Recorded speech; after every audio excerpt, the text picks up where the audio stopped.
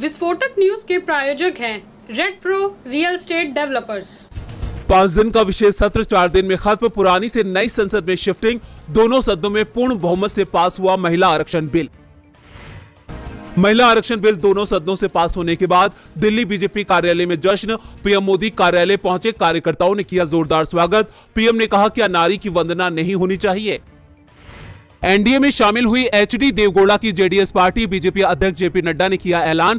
कहा, एनडीए में जेडीएस का स्वागत है। नौकरी के बदले ज़मीन घोटाले में बिहार के पूर्व सीएम लालू प्रसाद यादव को दिल्ली कोर्ट का सम्मान। राबड़ी तेजस्वी को भी बुलाया। 4 अक्टूबर को राउज एवेन्यू कोर्ट में होगी पेशी।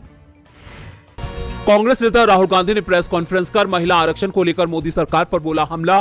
बोले, ये जातीय जनगणना से ध्यान हटाने की कोशिश। नई संसद में बीजेपी सांसद ने विपक्ष के सांसद को खुलेआम दी गाली।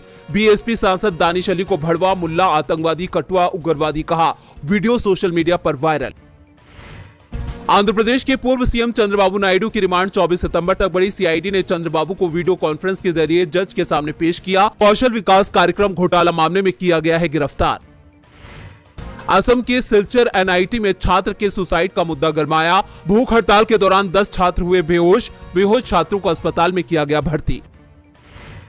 एक्ट्रेस और पूर्व सपा सांसद जयाप्रदा के खिलाफ मुरादाबाद की स्पेशल एमपी एमएलए कोर्ट में जमानत वारंट जारी। अभद्र टिप्पणी मामले में 4 अक्टूबर को कोर्ट में होना होगा पेश।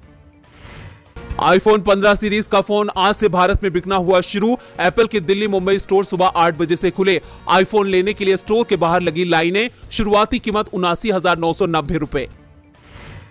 आप सांसद राघव चड्डा और बॉलीवुड एक्ट्रेस परिणीति चोपड़ा की शादी। शादी में मोबाइल कैमरे पर लगा बैन। यूनिक नंबर से मिलेगी एंट्री स्पेशल सिक्योरिटी गार्ड किए गए तैनात।